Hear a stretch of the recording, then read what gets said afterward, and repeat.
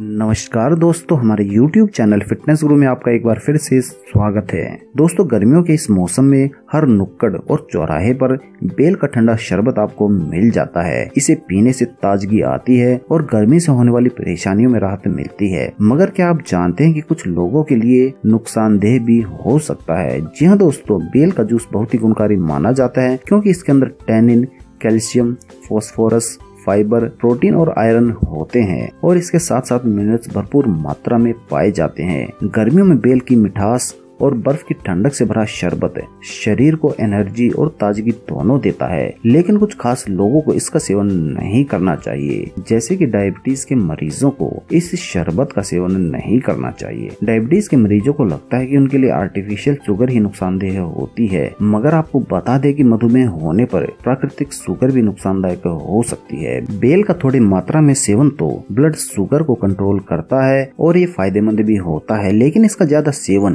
ठीक नहीं है। इसके अलावा बाज़ार में मिलने वाले बेल के शरबत में काफ़ी मात्रा में चीनी भी मिलाई जाती है। इसीलिए डायबिटीज़ के मरीजों को बेल के शरबत को नहीं पीना चाहिए। गर्भवती महिलाओं के लिए बेल के शरबत या फिर बेल के फल का सेवन कई बार खतरनाक हो सकता है। हालाँकि इस बात का कोई वैज्ञानिक आधार नहीं है, लेकिन बहुत सारे मामलों में यह देखा गया है कि बेल के जूस या फिर फल के सेवन से गर्भपात का खतरा हो जाता है। इसके अलावा इसके सेवन से दूध पिलाने वाली महिलाओं में दूध भी कम बनता है।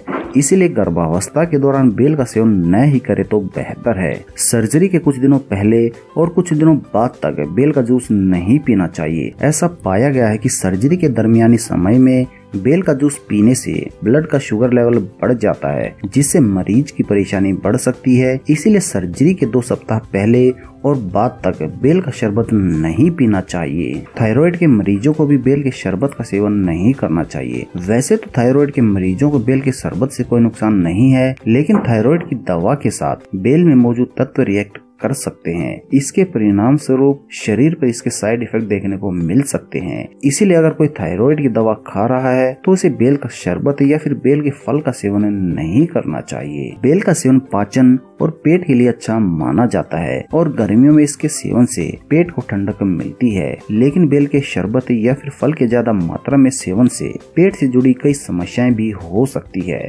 इसमें एपच कब और पेचिस जैसी समस्याएँ हो सकती है। इसके अलावा कई बार पेट में दर्द सूजन और पेट फूलने की भी समस्या उत्पन्न हो सकती है। इसीलिए एक बार में एक गिलास से ज़्यादा बेल के शरबत को नहीं पीना चाहिए। तो इस प्रकार से इन सावधानियों को ध्यान में रखते हुए और इन रोगों में आपको बेल या फिर बेल के शरबत का सेवन नहीं करना चाहिए। तो यदि आपको हमारी ये जानकारी पसंद आई हो तो कृपया इसे लाइक अवश्य करें और इस जानकारी को अपने मित्रों और सगे संबंधियों तक पहुँचाने के लिए कृपया इसे शेयर भी ज़रूर कीजिए। धन्यवाद दोस्तों।